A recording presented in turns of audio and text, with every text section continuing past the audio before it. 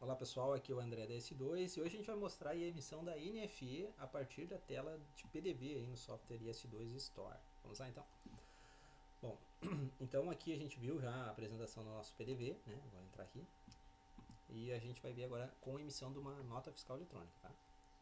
Uh, iniciar nova venda. Aqui eu vou botar, gente, o código, se eu não me engano é o 7, deixa eu ver. Não, não é o 7. Vamos excluir esse item aqui.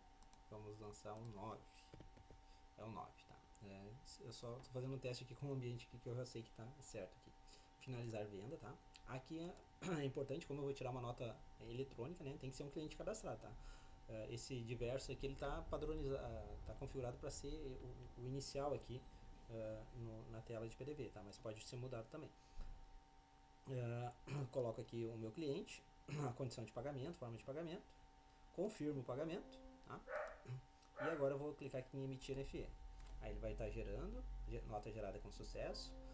Uh, tá vendo que abriu atrás ali a tela da nota, tá gente? É, ele, ela vai ficar por trás da, da tela de PDV, uh, ah, sendo processado ali.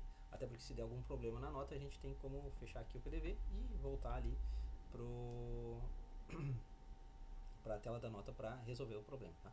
Nota foi gerada XML, ah, lote recebido, e nota autorizada.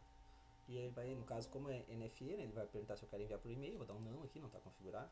E já abriu o PDF aqui da, da, da NFE, tá? Então, tudo certinho.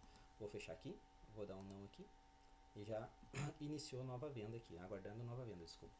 Uh, vou fechar aqui, ó, a tela, e daí a tela atrás ele abriu a tela da nota, ó, tá aqui a tela da nota. A nota que ele gerou ali. Uh, partir daquela venda ali. Se a gente olhar aqui, é o, o pedido 59, que foi aquele número de pedido ali da, gerado ali na, na tela de PDV. Certo, gente? Obrigado, valeu, até a próxima.